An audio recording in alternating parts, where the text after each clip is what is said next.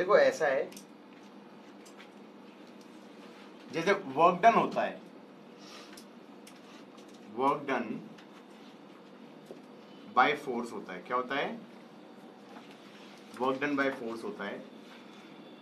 On body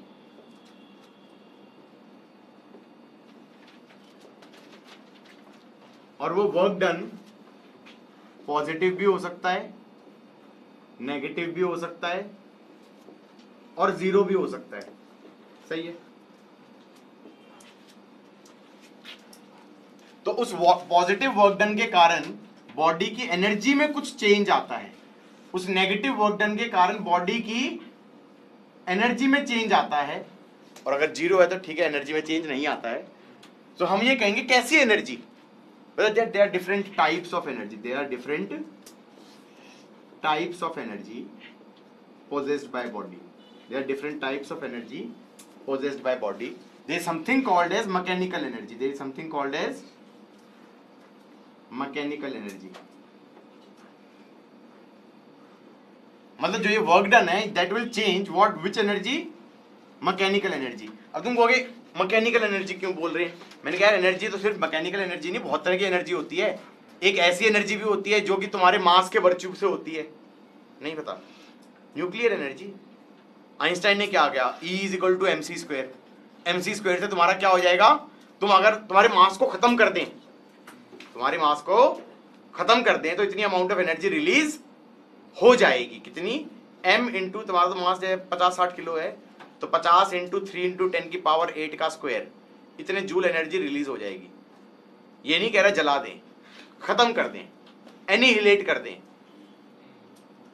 तो मास is a form मतलब mass is a form of energy तो that's a different kind of energy that's your nuclear energy बात समझ में आई या नहीं आई? तो I am not talking about nuclear energy this work done will change with energy mechanical energy of body and mechanical energy of body is of two types kinetic energy and potential energy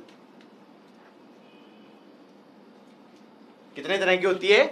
Kinetic energy and potential energy kinetic energy सबसे आसान है.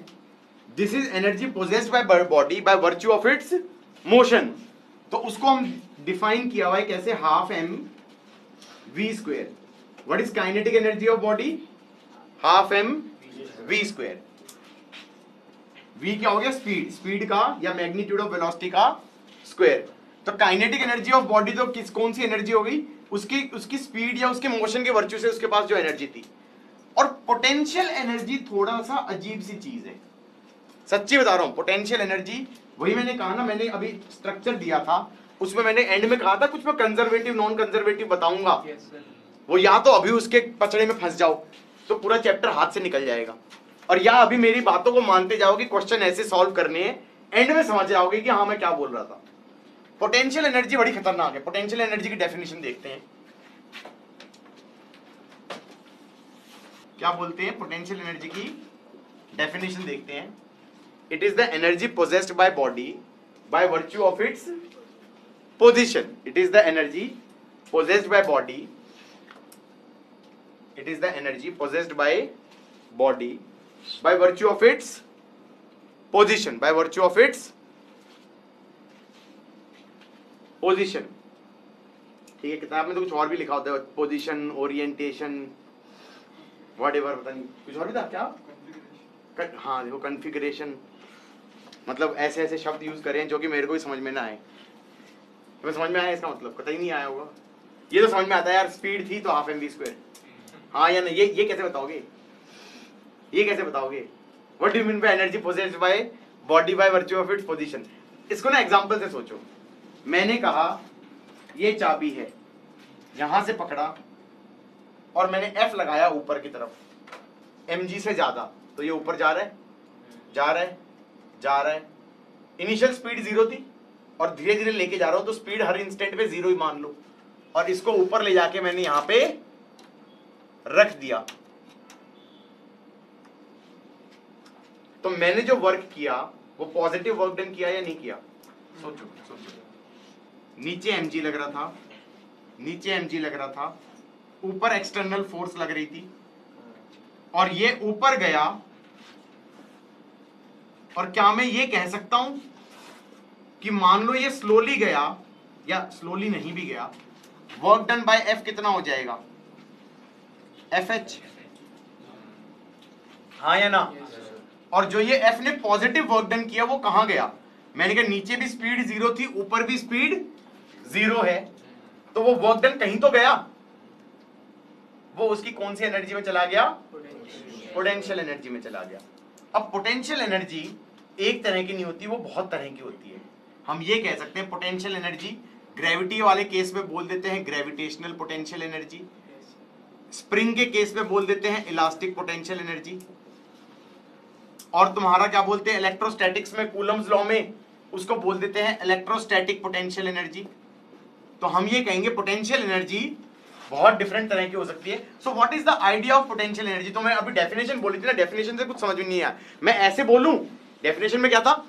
Energy possess by body by virtue of its orientation मैंने कहा, ना, मेरी definition working definition if I do some work on body and then that work get stored in the body so that at a later point of time I can get that work done back from the body then that body is said to possess potential energy if work done by force is stored in the body in some way so that you can get that work done that energy back then that body is said to possess potential energy तो potential energy की working definition मेरे वाली लिखो।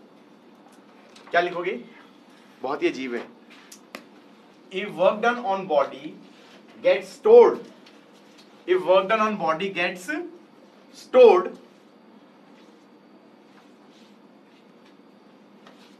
in some way so that at a later stage of time you can retrieve that work done in some form then that body is said to possess potential energy it is said to possess potential energy कुछ कुछ समझ में आया है topic is gravitational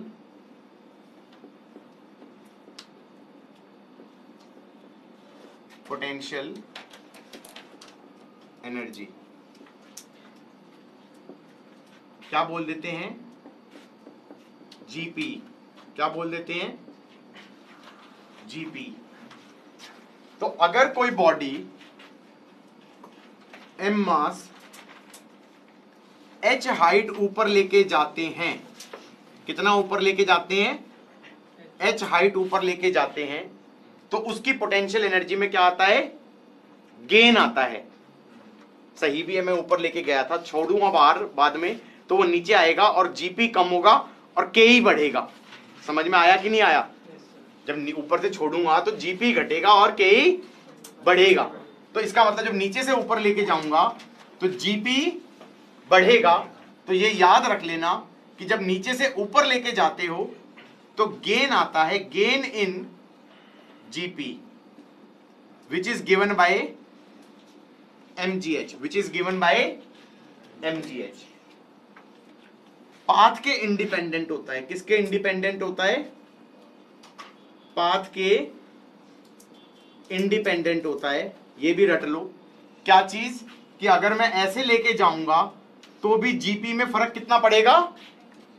MGH इसका मतलब किस चीज़ पे डिपेंड करता है? किस चीज़ पे डिपेंड करता है? वर्टिकल हाइट पे। किस पे डिपेंड करता है? वर्टिकल हाइट पे। तो किसी भी पार्टिकल को ऊपर लेके जाओगे तो गेन इन जीपी आता है कितना? एमजीएच किसी भी पाथ के अलोंग लेके जाओ सेम गेन इन जीपी आएगा MGH gain gain word is keyword है गेन ऐसे ही अगर मास एम को तुम नीचे लेके आओगे एच हाइट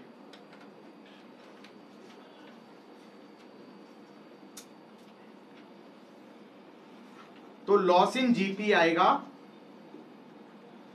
एमजीएच तो लॉस इन जीपी आएगा एमजीएच नीचे लेके आओगे तो लॉस इन अच्छा by the way loss positive है या नेगेटिव है? लॉस तो पॉजिटिव ही होगा। गेन भी पॉजिटिव होगा और लॉस भी पॉजिटिव होगा। भाई, तुम ये कह रहे हो ना, मेरे को लॉस हो गया बीस रुपए का। ये थोड़ी कहोगे कि लॉस हो गया माइनस बीस का? समझ में आ रहा है, नहीं आ रहा है? You are getting a point और नॉट दोनों ही पॉजिटिव क्वांटिटी हैं। मैंने गेन वर्ड यूज़ किया तो मैंने कहा कि ओके गेन इन जीपी मतलब that is a positive quantity ऊपर जाएगा तो गेन आएगा, नीचे आएगा तो लॉस आएगा लॉस भी पॉजिटिव क्वांटिटी है यहाँ तक का समझ में आ गया कि नहीं आ गया? सपोज़ करो अच्छा कई बार ना कई बार वो क्या कर देते हैं जो ये पोटेंशियल एनर्जी होती है जो पोटेंशियल एनर्जी है उसके अंदर हमेशा क्या डिफाइंड होता है? चेंज डिफाइंड होता है। क्या डिफाइंड होता है? Change in potential energy is defined इसका कोई मतलब नहीं होता कि एब्सोल्यूट पोटेंशियल एनर्जी कितनी है। तो एब्सोल्यूट की बार बात करना चाहे अगर वो कि ग्रेविटेशनल पोटेंशियल एनर्जी कितनी है तो उसके लिए फिर वो कुछ अजीब सी चीज़ें बोलने लगेगा। वो ये कहेगा कि एक ले लो रेफरेंस लेवल क्या ले लो? रेफरेंस लेवल मैंने एक्चुअली रेफरेंस लेवल के फंडे को लिटरली इग्नोर कर दिया। कैसे इग्नोर कर दिया? रेफरेंस लेवल ले लिया। इधर देखोगा समझो। ये मास एम था, ये हाइट एच वन पे था। तो इसकी पोटेंशियल एनर्जी इस इंस्टेंट पे कितनी हो गई? पोटेंशियल एनर्जी इस वन वाले पॉइंट पे कितनी हो गई? एम जी एच वन और ये जब यहाँ आ गया तो इसकी पोटेंशियल एनर्जी कितनी हो गई? टू वाली सिचुएशन में पोटेंशियल एनर्जी टू हो गई एम जी एच टू मैंने कहा कि ओके एब्सोल्यूट वैल्यू डिफाइन करने के लिए तो तुमने कोई ना कोई क्या करोगे? रेफरेंस लेवल के रेस्पेक्ट में पोटेंशियल एनर्जी डिफाइन करोगे कि इस वाले रेफरेंस लेवल के हिसाब से इसकी पोटेंशियल एनर्जी इज़ एम और इस रेफरेंस लेवल के हिसाब से यहाँ पे कितनी हो गई? एम जी एच टू लेकिन अगर चेंज डिफाइन करना था, उसके लिए रेफरेंस लेवल लेने की ज़रूरत नहीं थी, जो कि मैं ऑलरेडी डिफाइन कर चुका हूँ। कैसे? मैंने कहा चेंज इन पोटेंशियल एनर्जी कितना हो गया? This that is M G H यही तो डिफाइन किया मैंने। मैंने सीधा कह दिया गेन इन जीपी कितना हो गया? M G H two minus H one that is M G H तो एब्सोल्यूट वैल्यू के लिए तो तुम्हें रेफरेंस लेवल चाहिए। लेकिन क्वेश्चनों में अगर तुम सीधा लॉस और गेन लगा रहे हो तो that is irrespective of reference level तुम्हें रेफरेंस लेवल मानने की ज़रूरत नहीं है।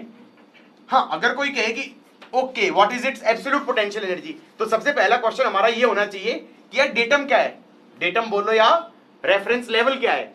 कि हाँ भाई, ये रेफरेंस लेवल है। इसके रेस्पेक्ट में पहले पोटेंशियल एनर्जी कितनी थी? M G H one dash बाद में कितनी हो गई? M G H two dash लेकिन चेंज कितना हो गया?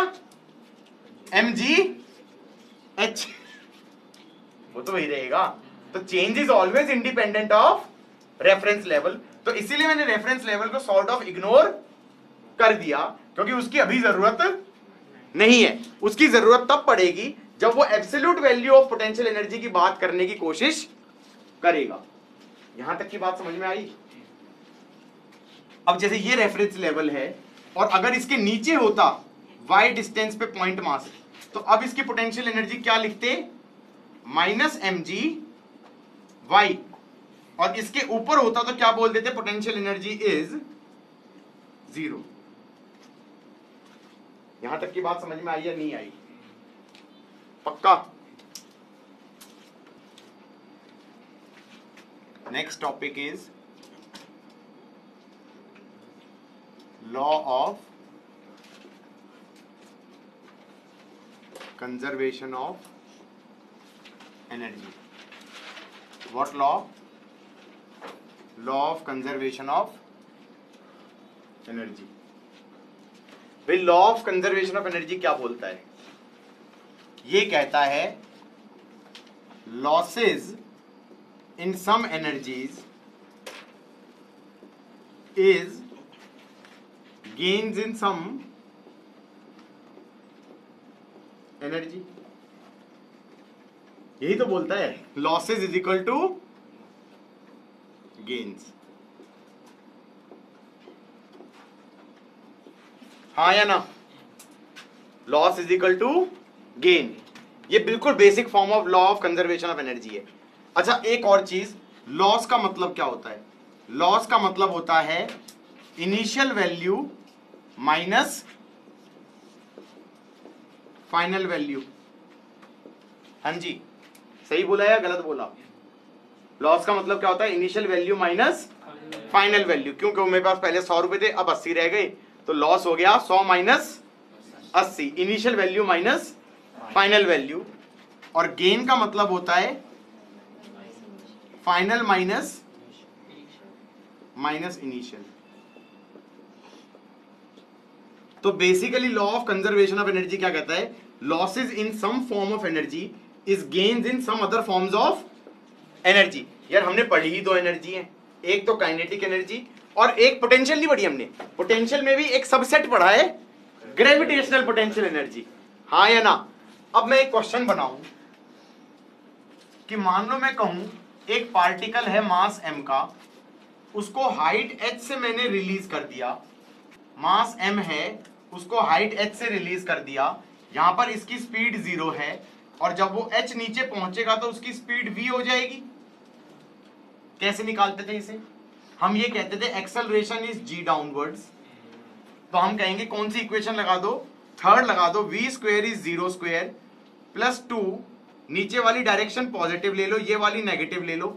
तो हम ये कह सकते हैं plus g into plus h तो v आ गया रूट टू जी एच ये आज तक ऐसे करते आए इस क्वेश्चन को।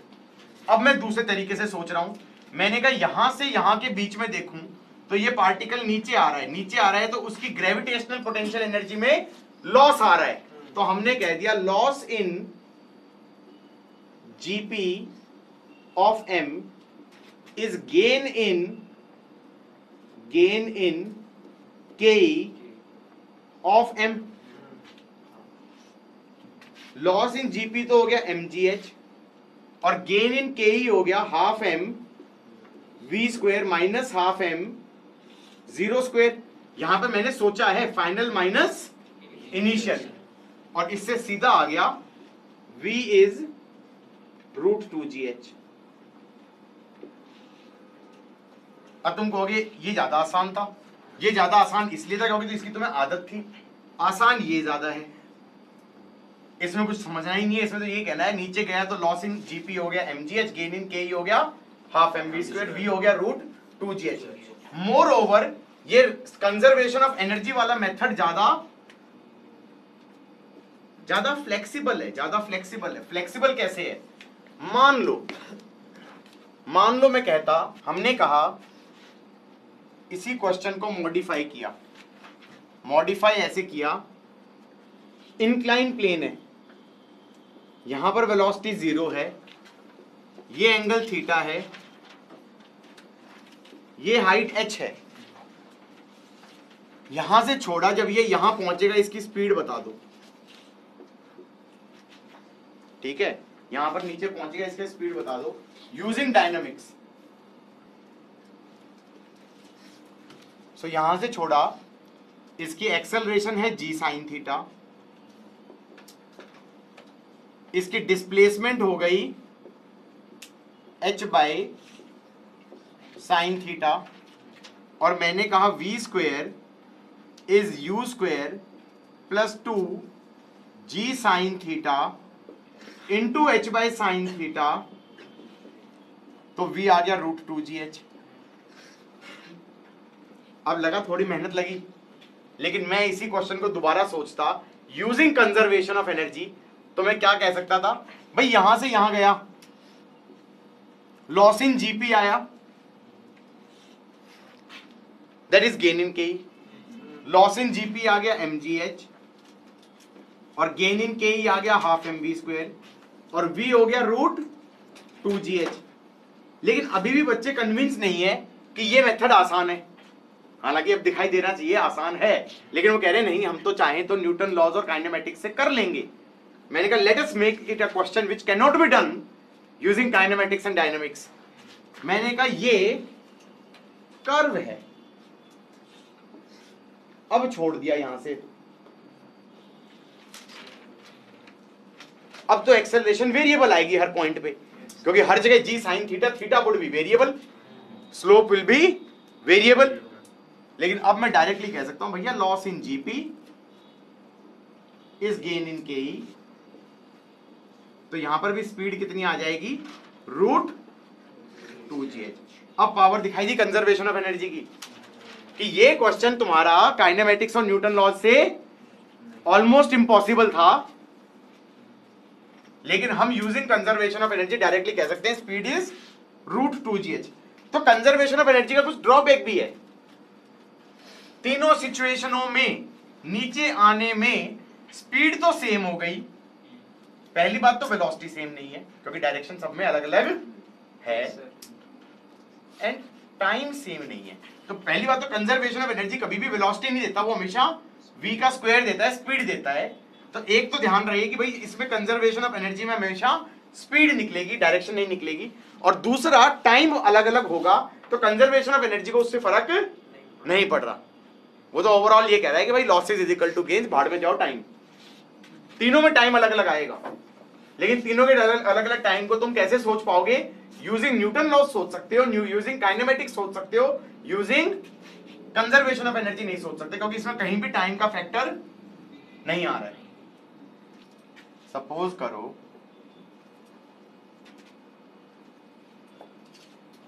अब जैसे मान लो मान लो हम ये कहते हैं कि ये बिल्डिंग है। ये हाइट एच है। इससे हमने यू से ऐसे फेंक दिया। ये ऐसे जाएगा और ऐसे गिर जाएगा। यहाँ पे नीचे पहुँचा तो स्पीड इसकी वी हो जाएगी। अब कंजर्वेशन ऑफ़ एनर्जी लगाऊँ। वन और टू के बीच में तो मैं कहूँगा loss in GP is gain in in K E अब लॉस इन जीपी तो हो गया एम जी एच और गेन इन के ही हो गया half m v square minus half m u square यही तो होगा। तो ये आ जाएगा v square v square is u square plus two g h या फिर वी आ जाएगा u square plus two g h का अंडर द रूट अब तुम कहो मैंने यू से नीचे फेंका होता तो? मैंने कहा फिर भी वही आएगा। यू से ऐसे फेंका होता तो?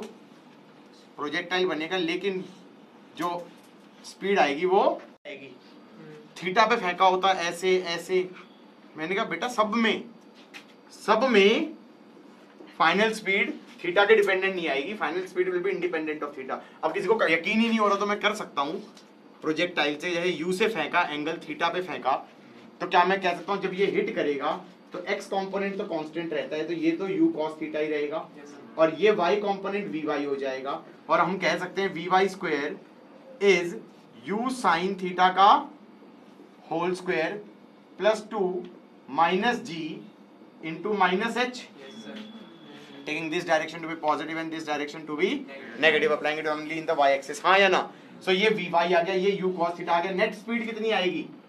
v that is this square plus this square का अंडर द रूट तो टेक्निकली देखोगे तो v कितना आ जाएगा? V आ जाएगा under the root of u cos theta का स्क्वायर तो that is u cos theta whole square plus v y square v y square ये बन गया. That is u sine theta whole square plus two g h so technically ये कितना आ गया? U square plus two g का under the root that's independent of theta होना भी चाहिए था by conservation of energy losses is equal to gains that's independent of theta मैंने कहा था वर्टिकल हाइट पे होता है GP gain GP loss in GP vertical height से देखते हैं। पाथ से तो देखते ही नहीं है। हाँ बच्चों तो हम क्या कह रहे थे? कंजर्वेशन ऑफ़ एनर्जी थोड़ा थोड़ा समझ में आ गया। थोड़ा थोड़ा ही आया, ज़्यादा नहीं आया। उल्टा करके देख लो यार। यहाँ से यू से फेंकते थे। मैक्सिमम हाइट कितनी होती थी? मैक्सिमम हाइट कितनी होती थी? U square by two g मैंने कहा, ना ना, मुझे नहीं पता। मुझे पता मैक्सिमम हाइट जब होती थी, जब स्पीड ज़ीरो हो जाती थी। अब मैं वन से टू पे लगाऊँगा तो मैं कहूँगा loss in kinetic energy loss means initial minus final तो इनिशियल हो गया half m u square final हो गया zero is gain in GP that is m g h तो मैंने कहा, भैया एच आ गया u square by two g. क्या क्वेश्चन था?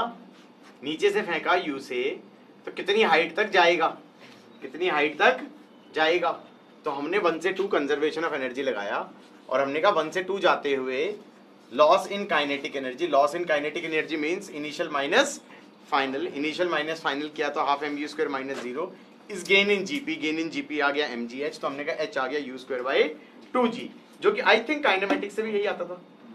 Maximum height from ground used to be u square two g मैं ये कह रहा था सपोज़ करो सपोज़ करो।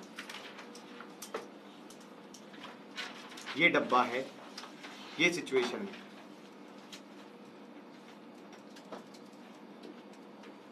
ये M2 है, ये M1 है। यहाँ पे स्पीड ज़ीरो है V ज़ीरो है। मतलब रेस्ट से छोड़ा गया है।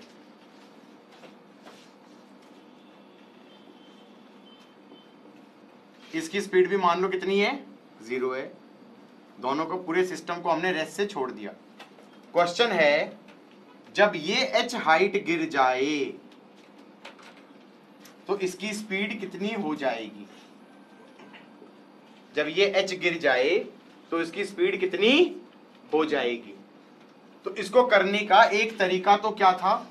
इसकी एक्सेलरेशन निकाल लो।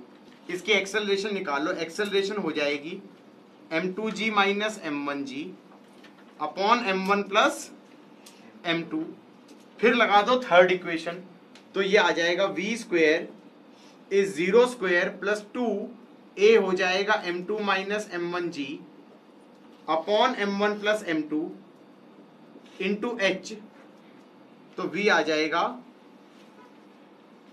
इसका अंडर द रूट तुम्हें लग रहा है ये तरीका फास्ट है, ये तरीका बहुत स्लो है। क्यों? क्योंकि इसके अंदर तुम्हें एक्सेलरेशन तो याद थी। नहीं तो पहले बनाओगे एफपीटी फिर निकालोगे एक्सेलरेशन उसके बाद थर्ड इक्वेशन लगेगी। V square is u square plus two s अब मैं सोच रहा हूँ कि क्या मैं इसके अंदर कंजर्वेशन ऑफ़ एनर्जी लगा सकता हूँ? क्या मैं ये कह सकता हूँ, जब M2 नीचे आया तो इसका लॉस इन जीपी हुआ। और वो लॉस इन जीपी कहाँ चला गया? गेन इन के गड़बड़, गलत कह रहे हो।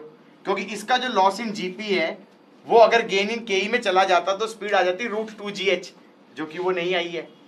तो ये गलत सोचा है तुमने। एक्चुअली क्या हुआ? M2 पे अगर मैं कंजर्वेशन ऑफ़ एनर्जी लगाऊँ कंजर्वेशन ऑफ़ एनर्जी लगाऊँ किस पे? M2 पे। तो मैं ये कहूँगा loss in GP of M2 इस पे फोर्सेस देखो ना। नीचे लग रहा है एम टू जी ऊपर लग रहा है टेंशन भाई एम टू जी का वर्क डन तो काउंट नहीं कर रहे। क्यों काउंट नहीं कर रहे? क्योंकि वो तो पोटेंशियल एनर्जी में ही चला गया।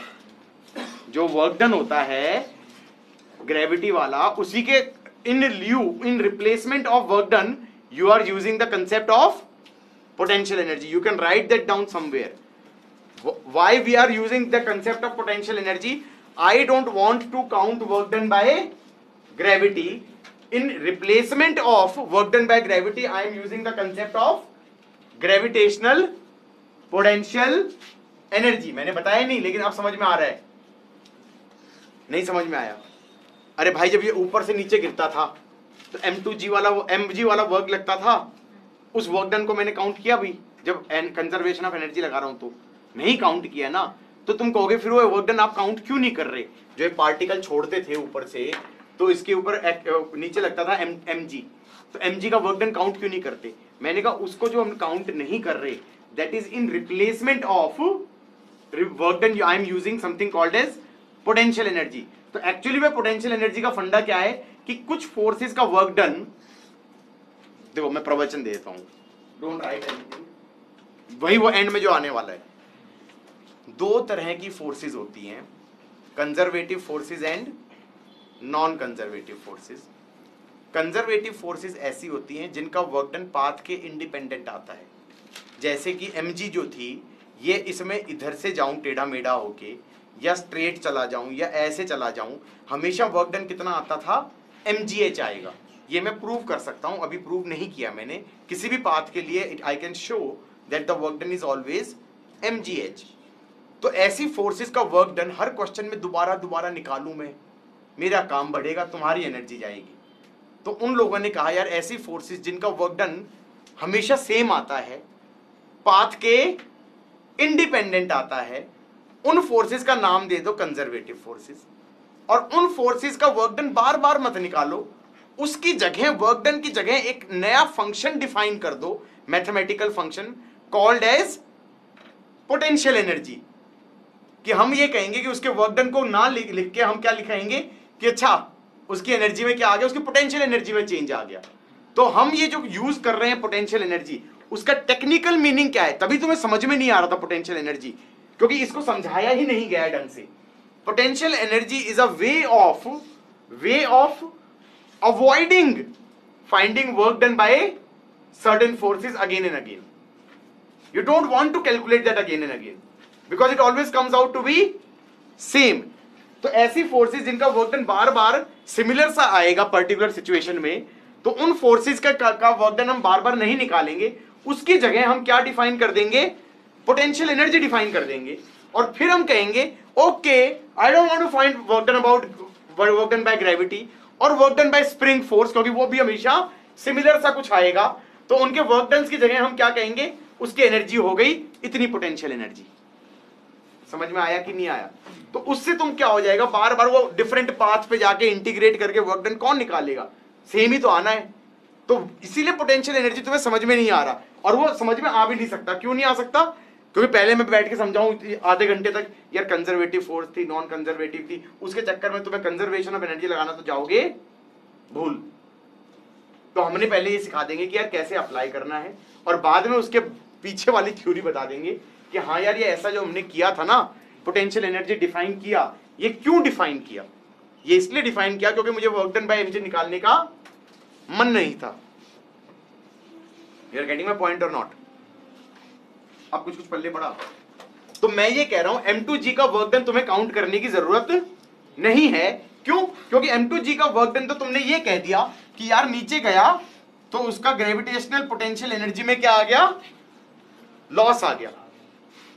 अब प्रॉब्लम क्या थी कि तुमने गलत सोचा कि इसका ग्रेविटेशनल पोटेंशियल एनर्जी का लॉस इसकी काइनेटिक एनर्जी का गेन है, वो गलत सोचा कि loss in GP of M two is not equal to gain in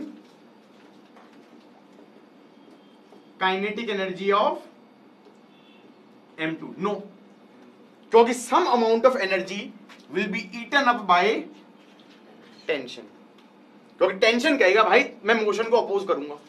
मैं एनर्जी खाऊँगा। तो इसका जो लॉस इन जीपी आया, मान लो 50 जूल तो 50 जूल में से काइनेटिक के अंदर कितना आया होगा? 30 जूल और 20 जूल कौन खा गया? टेंशन खा गया। तो यहाँ पर कंजर्वेशन ऑफ़ एनर्जी में तुम ये नहीं कह सकते कि loss in GP of M two is gain in K of M two साथ में ये बोल दोगे plus some energy is work done by मत को डन अगेंस्ट टेंशन तुम कहोगे अगेंस्ट वर्ड क्यों यूज़ किया? यार बात सुनो, यहाँ पर जो लॉस आया I am a big fan of positive numbers I hate negative numbers so loss आया वो पॉजिटिव गेन आया वो positive work done by tension negative था. तो इस इक्वेशन को तीन किताबें खोलोगे तो तीन डिफरेंट तरीके से कंजर्वेशन ऑफ़ एनर्जी की इक्वेशन लिखी होती है. तीन डिफरेंट तरीके से. एच सी वर्मा लिखता है initial total is final total कुछ कोचिंग वाले बोलते हैं वर्क एनर्जी थ्योरम लगा दो। स्कूल वाले कहते हैं वर्क एनर्जी थ्योरम लगा दो। और कुछ मुझ जैसे लोग होते हैं जो कहते हैं losses is equal to gains लिख दो। तुम कहोगे, कौन सा अच्छा है? यार, तीनों से सेम इक्वेशन बनेगी।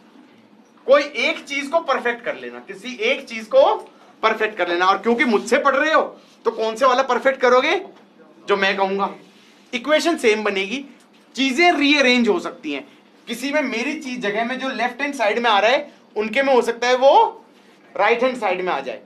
That will be the only difference equation will not change तो अब जो मैंने बोला, वही मैं कह रहा हूँ I am a big fan of positive numbers I said loss in GP that is M two G H is half M two V square and work done against tension का मतलब है टी एच तुम कहोगे minus T H नहीं नहीं. Work done by tension is minus T H work done in overcoming the tension is plus T H अब तुम कहोगे ये थोड़ा सा कंफ्यूजिंग है. हाँ आई एग्री है. कुछ लोग इसको उल्टा करके लिखते हैं. वो कहते हैं जीपी में जो लॉस आया माइनस जो टेंशन ने खाया इस गेन इन काइनेटिक एनर्जी तो वो पता चला इस क्वांटिटी को इधर लिख देंगे। फिर वर्क डन अगेंस्ट ये टेंशन नहीं लिखेंगे। वर्क डन बाई टेंशन लिखेंगे। तो ऐसे कंफ्यूजन में मत पड़ो जो मैं, मेरे से सीख रहे हो तो जैसे मैं सोच रहा हूँ, वैसे सोचो। क्या कहोगे? इसका जीपी का लॉस इसके काइनेटिक के एनर्जी में गेन में चला गया। And work done against tension मतलब work done in overcoming tension that is plus T H अब दूसरे वाले पे सोचो, अब दूसरे वाले पे सोचो। यहाँ पर इसकी स्पीड ज़ीरो थी। ये ऊपर गया। यार, इसकी स्पीड भी बढ़ गई।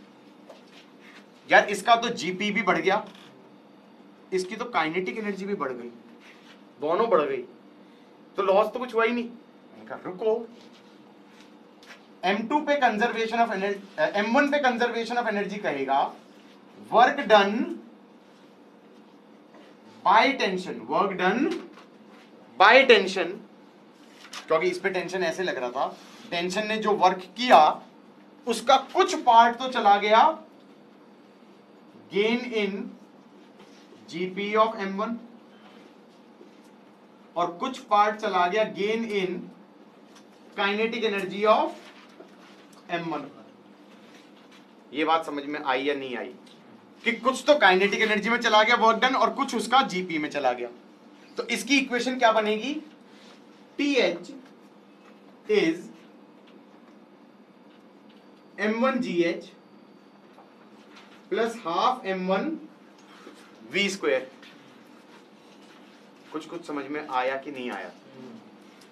तो ये कंजर्वेशन ऑफ़ एनर्जी की इक्वेशन है एम वन पे और ये कंजर्वेशन ऑफ़ एनर्जी की इक्वेशन है एम टू पे। असलियत में जनरली क्या होता है? ये दोनों इक्वेशन बनाने की ज़रूरत नहीं पड़ती, क्योंकि वो क्वेश्चन में क्या पूछेगा? स्पीड पूछेगा। तो तुम्हें कंजर्वेशन ऑफ़ एनर्जी की इक्वेशन बनाने की ज़रूरत है किसके लिए? सिस्टम के लिए। किसके लिए? सिस्टम के लिए। लेकिन मान लो किसी ने क्वेश्चन में पूछ ही लिया कि M2 पे बनाओ और M1 पे बनाओ तो ये नहीं होना चाहिए कि ये आसान चीज़ करनी नहीं आती।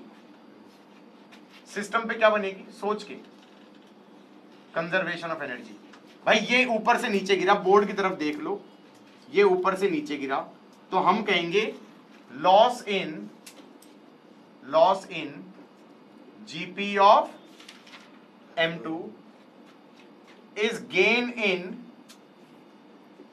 gain in GP of M one plus gain in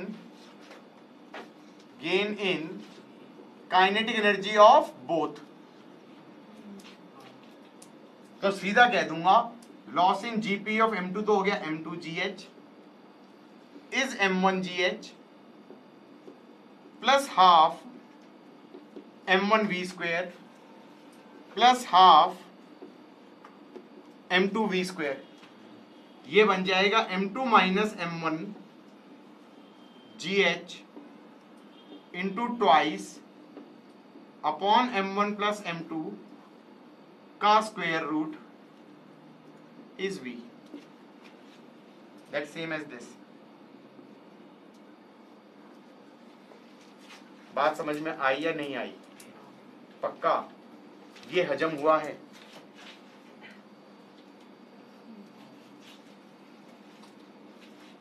जैसे फॉर एग्ज़ाम्पल मान लो क्वेश्चन है। ये ज़मीन है। इसका मा, यहाँ पर डब्बा रखा है, जिसका मास m1 है।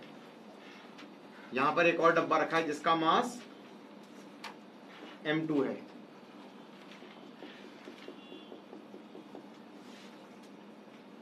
इसका मास m1 था, इसका मास m2 था। वेलोसिटी ज़ीरो थी। ये h गिरा तो इसकी स्पीड कितनी आ गई? V आ गई। हाँ या ना? तो अगर मैं कंजर्वेशन ऑफ़ एनर्जी लगाऊँ सिर्फ़ और सिर्फ़ m2 पे तो मैं ये कहूँगा loss in GP of m2 is gain in K of m2 plus work done against tension तो ये हो जाएगा M2 GH is half m2 v square plus th is that fine m1 पे लगाएँगे तो ये जाएगा एच आगे, और यहाँ पे आते आते इसकी स्पीड आ जाएगी। जीपी में चेंज नहीं आया। जीपी में चेंज नहीं आया। इसमें आएगा work done by tension is gain in kinetic energy of M one तो ये आ जाएगा T H is half M one V square और टेक्निकली इन दोनों कंजर्वेशन ऑफ़ एनर्जी की इक्वेशंस को अगर ऐड कर दूँ तो सिस्टम की बन जाएगी। टी एच दोनों तरफ़ से कट जाएगा। और क्या बनेगा? Loss in GP of M two that is M two G H is gain in kinetic energy of M one plus gain in kinetic energy of M two तो we आ जाएगा two M two G H upon M one plus M two का square root. ये अच्छे से समझ में आया कि नहीं आया? ये मैंने सिस्टम की बना दी। सिस्टम की मैं क्या बनाया? Loss in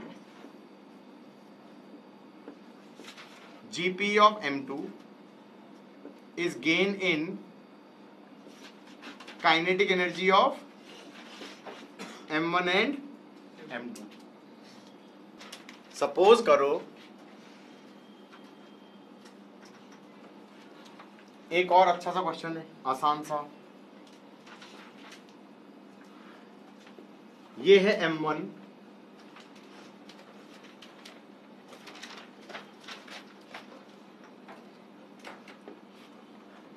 ये है M2 ये एंगल है थीटा यहाँ पर वेलोसिटी हो गई ज़ीरो यहाँ पर वेलोसिटी हो गई ज़ीरो मान लो ये नीचे आया h. इसकी स्पीड हो गई v. ये h ऊपर जाएगा या ये h प्लेन के अलोंग जाएगा?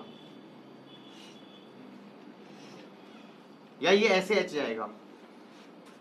प्लेन के लॉन्ग जाएगा एच रस्सी के लॉन्ग तो जा रहा है, ये रस्सी के लॉन्ग एच गया है, रस्सी के लॉन्ग एच चला जाएगा। इसकी स्पीड वी हो जाएगी। अब कंजर्वेशन ऑफ़ एनर्जी लगाओ सिस्टम पे। सिस्टम पे क्या कहोगे? लॉस इन क्या लिखोगे सिस्टम पे? लॉस इन मैंने ये कहा कि ये एच जाएगा तो ये प्लेन के अलोंग एच जाएगा। वर्टिकल हाइट एच मत भेज देना। पहला गलती जहाँ पे होएगी तुमसे। और फिर कहोगे loss in GP of M two gain in GP of M one plus gain in kinetic energy of both kinetic energy तो दोनों की बढ़ेगी। तो सीधा मैं कह दूँगा loss in GP of M two कितना हो जाएगा? एम टू जी एच और gain in GP of M one कितना हो जाएगा? एम वन जी एच नहीं होगा। एच साइन थीटा क्योंकि वर्टिकल हाइट कितना गया ये? एच साइन थीटा इस gain in kinetic energy of M one हो जाएगा half M one B square और gain in kinetic energy of M two हो जाएगा half M two V square तो इससे v निकल जाएगा, एक लाइन में कितना आ जाएगा? M two G H minus M one G H sine theta into two divided by M one plus M two का अंडर द रूट ये सबको समझ में आया कि नहीं आया? सपोज़ इधर देखो सब। सपोज़ ऐसे। अब तुमने नोटिस किया? मैंने एम वन और एम टू का इंडिविजुअली कंजर्वेशन ऑफ़ एनर्जी की इक्वेशन बनानी बंद कर दी। इसका मतलब ये नहीं है कि तुम्हें नहीं आनी चाहिए, तुम्हें बनानी आनी चाहिए। क्या होगी? M2 की क्या होगी?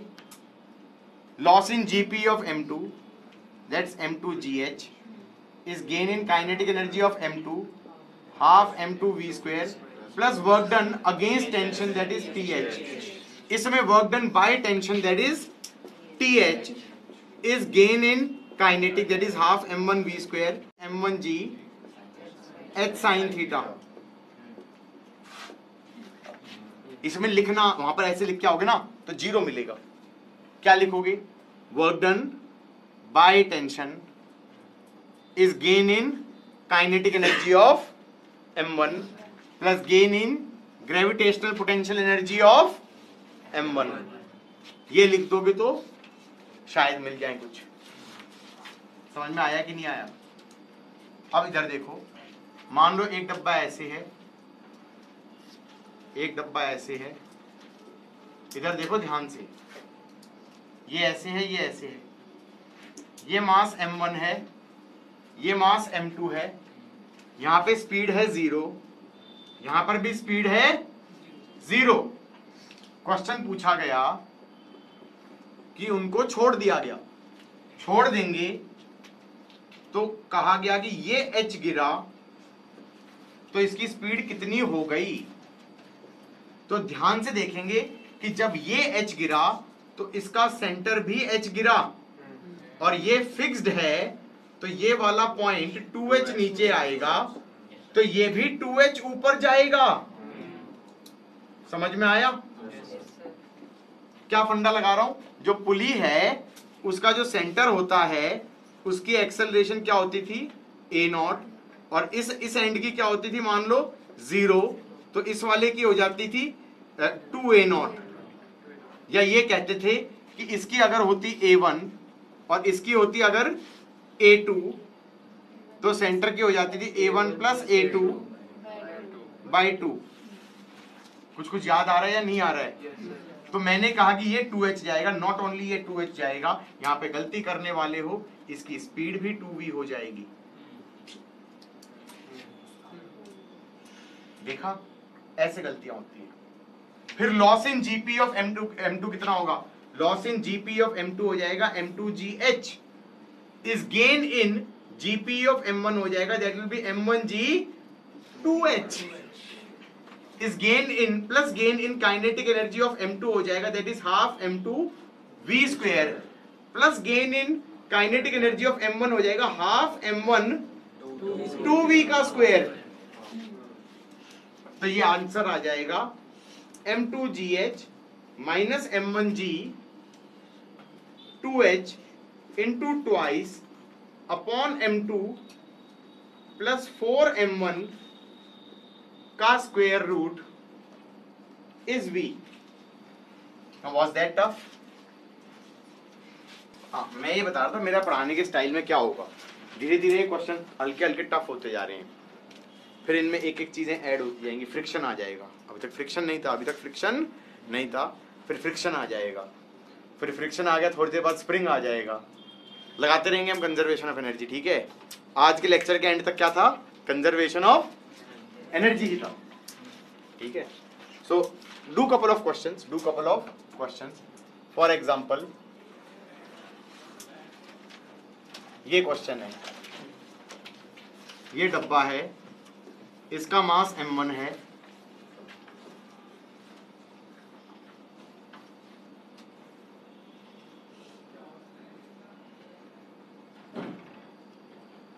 इसका मास m2 है।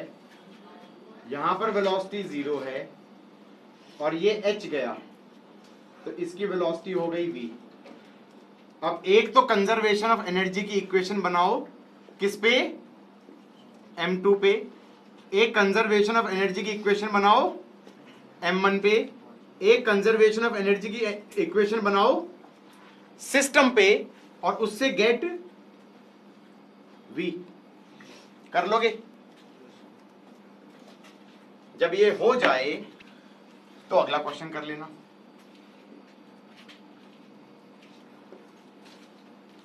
हमने कहा, यहाँ पर वेलोसिटी ज़ीरो है। ये एंगल थीटा यार ये ऐसे तो ऊपर जाएगा ही नहीं। एफ़ लगा दिया। एफ़ लगा दिया। एफ़ लगा दिया। और जब ये हाइट एच चला गया तो उसकी स्पीड कितनी हो गई? उसकी स्पीड कितनी हो गई?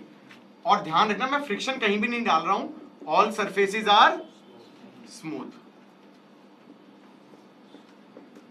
question समझ में क्या है? नीचे से एफ़ लगा दिया और ये ऊपर जा रहा है। और जब ये हाइट एच पे चला गया तो इसकी स्पीड कितनी हो गई? ऑब्वियसली हम इन क्वेश्चन को एक्सेलरेशन से कर सकते हैं। Obviously I don't want to do that I want to apply conservation of energy अगर ये टफ लगने लगे, अगर ये क्वेश्चन टफ लगने लगे तो इट्स बेटर कि ये वाला क्वेश्चन ट्राई करना। क्या क्वेश्चन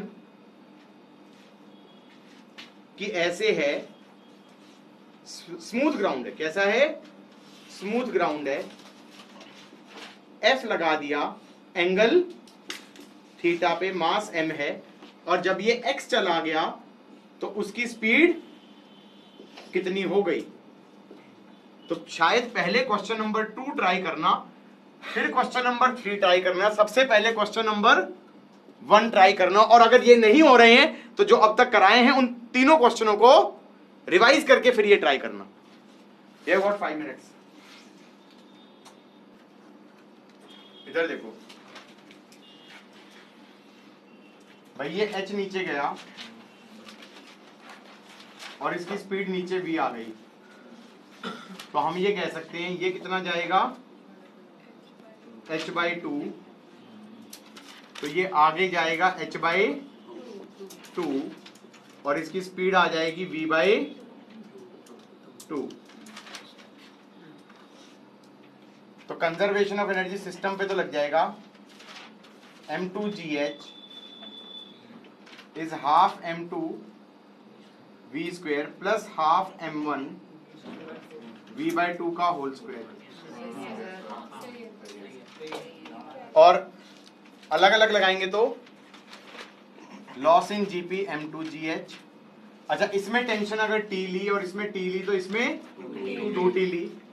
तो M two G H is half M two V square plus work done against tension that is T H और यहाँ पे हो जाएगा टू टी और डिस्प्लेसमेंट हो गया एच बाई टू तो work done by tension is T into into by two is half M one V by two to का होल स्क्वायर और इन दोनों इक्वेशनों को ऐड कर दूँ तो नीचे वाली आ जाएगी।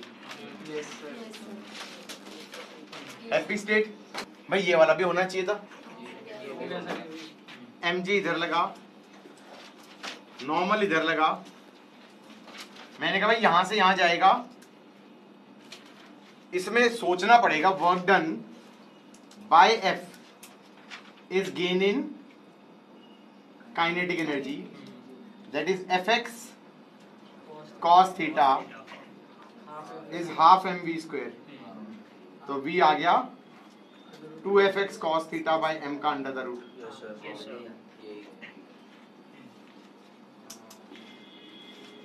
हाँ जी। सही कहा? अब इस वाले का देखा। भाई एम भी लग रहा है। नॉर्मल भी लग रहा है। एक्सेलरेशन भी है। तो मैंने कहा work done by F work done by F is I think gain in GP also plus gain in kinetic energy also तो वर्क डन बाय एफ़ तो हो गया एल एफ़ एल नहीं हुआ एल नहीं दिया ना? ये एच बाई साइन थीटा तो वर्क डन बाय एफ़ तो हो गया F H by sine theta is gain in GP that is M G H plus half M V square हाँ जी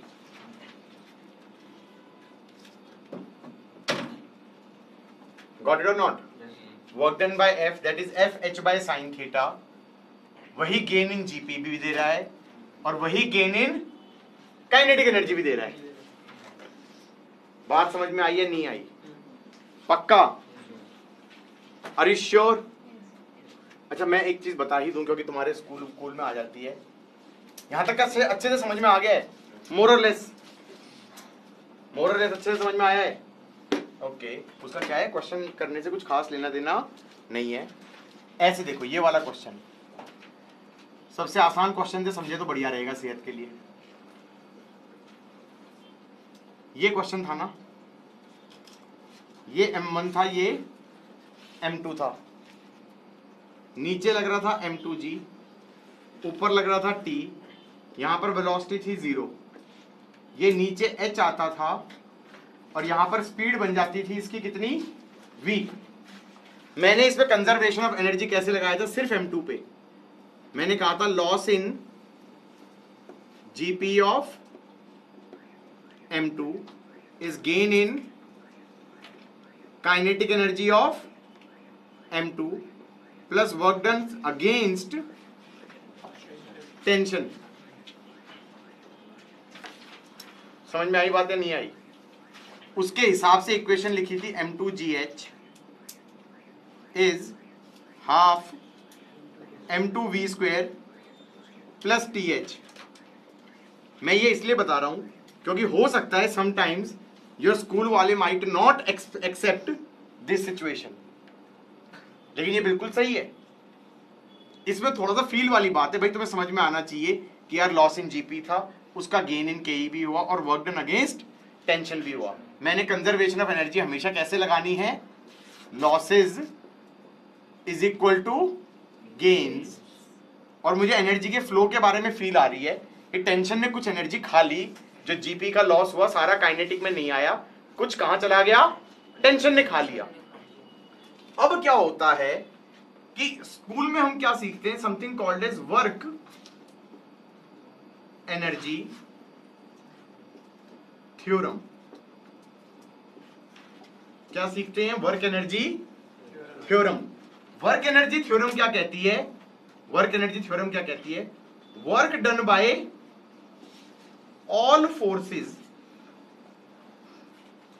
is delta k that's it there is no concept of potential energy there is no concept of potential energy क्या कहती है work done by all the forces on the body is gain in या gain भी मत कहो change in kinetic energy change मतलब gain भी नहीं है word word is actually change तो चेंज का मतलब तो हमेशा क्या हो गया? फाइनल माइनस इनिशियल अब क्या मैं एम टू के ऊपर लगा सकता हूँ ये?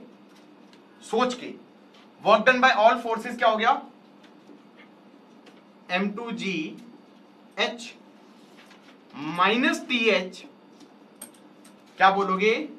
M two G H minus T H is half m2 v square minus 0 is that the same equation which i said?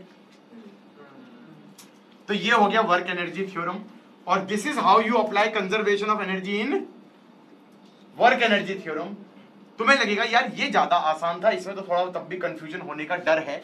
लेकिन जब क्वेश्चन टफ होने लगते हैं तो इस वाले में लेंदी होने लगता है। समझ में आया कि नहीं आया? पक्का?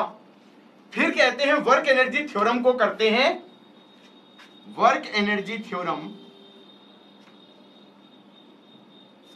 मॉडिफाइड क्या? मॉडिफाइड कैसे मॉडिफाई करते हैं? कि work done by all forces को लिख दो। Work done by conservative forces plus work done by non conservative forces is change in kinetic energy. ठीक है, यहाँ तक? दो तरह की फोर्सेस हो गई, कुछ एक टाइप वन, एक टाइप टू। ये ऐसी होती हैं जिनके लिए पोटेंशियल एनर्जी फ़ंक्शन डिफाइन किया जा सकता है। तो फिर यहाँ पर एक डेफिनेशन आती है। क्या डेफिनेशन आती है? डेफिनेशन आती है कि change in potential energy is negative of work done by conservative force कुछ समझ में आया? बस डिफाइंड ऐसे। How your change in potential energy is defined negative of work done by conservative force कल तुम ये मत कहना कि हमें ये नहीं आता फॉर्मूला ये आना चाहिए। अब तुम सोचोगे, ऐसा होता है क्या? हाँ होता है। एग्ज़ाम्पल के तौर पे, अगर इस मास को ऊपर एच लेके गए तो मैंने तो चेंज इन पोटेंशियल एनर्जी क्या बोला था? M G H delta U क्या बोला था मैंने? एम जी एच वो यही तो हो गया, क्योंकि नीचे लग रहा था एम जी एच ऊपर हुआ। तो work done by conservative force क्या था? Minus M G H minus of minus M G H क्या हो गया? प्लस एम जी एच हाँ या ना? दूसरा एग्जांपल ये मास अगर नीचे आता तो मैंने लॉस बोला था एमजीएच चेंज क्या होगा? माइनस एमजीएच चेंज क्या होगा? माइनस एमजीएच वो कैसे हो जाएगा? Delta U is defined as negative of work done by conservative force तो ये हो जाएगा हमारा work done by conservative force तो हो गया एमजीएच क्योंकि एमजी तो नीचे ही लग रहा है एमजीएच और आगे नेगेटिव साइन तो डेल्टा यू हो गया माइनस एमजीएच फिर इन्होंने कहा, इस वर्क एनर्जी थ्योरम में क्या लिख दो? इसको लिख दो minus delta U plus work done by non conservative force is change in kinetic energy फिर लिख दो work done by non conservative force is delta K plus delta U अब सोचेंगे, क्या इससे निकलेगा? सेम आंसर मैंने कहा work done by non conservative सोच रहा हूँ, सोच रहा हूँ। मैंने कहा, देखो एमजी को छोड़ के बाकी जितनी भी है, उनको तुम्हें नॉन कंजर्वेटिव मान लो। तो इस बॉडी के ऊपर बाकी तो टेंशन ही लग रही है। तो वर्क डन बाय टेंशन क्या हो गया? Minus T H change in kinetic कितना हो गया? Half M two V square और चेंज इन पोटेंशियल एनर्जी क्या हो गया? डेल्टा यू डेल्टा मतलब माइनस आएगा यहाँ पर. Minus M two G H मैंने कहा ना, तीन तरह से लगा सकते थे। एक तरीका तो क्या हो गया? प्रॉपर वर्क एनर्जी थ्योरम लगा दो। उसमें तो पोटेंशियल एनर्जी की बात ही नहीं कर रहे वो। दूसरा तरीका क्या हो गया? उस जो वर्क एनर्जी थ्योरम है, उसको मॉडिफाई कर दो और कह दो कि यार वो कंजर्वेटिव फोर्सेस के वर्क डन के हिसाब से हम पोटेंशियल एनर्जी डिफाइन कर सकते हैं। क्यों कर सकते हैं? भाड़ में जाए। कर सकते हैं। और वो कर सकते हैं, वो कैसे पोटेंशियल एनर्जी डिफाइन करी? That is negative of work done by conservative force फिर हमने कहा कि यहाँ पर इक्वेशन क्या बन जाएगी? Work done by non conservative is delta K E plus delta U समझ में आ रहा है? तो ग्रेविटी को छोड़ के बाकी सबको तुमने कह दिया कि उनका वर्क डन काउंट करो। तो यहाँ पर आ जाएगा minus T H delta K E plus delta U delta U आएगा तो minus M M two G H आ जाएगा। तो मतलब एक सेम ही इक्वेशन बनी है। यही इक्वेशन यहाँ बनी है और यही इक्वेशन हमने बनाई थी। वो तीन डिफरेंट तरीके से बन सकती है। स्कूल वाले या तो ये यूज़ करेंगे। ज़्यादा उनका मूड करा तो ये यूज़ करेंगे। ये सबसे फील वाली इक्वेशन है। ये कोई यूज़ नहीं करता, ये हम यूज़ करेंगे। कुछ बात समझ में आई या नहीं आई? इक्वेशन तीनों सेम है।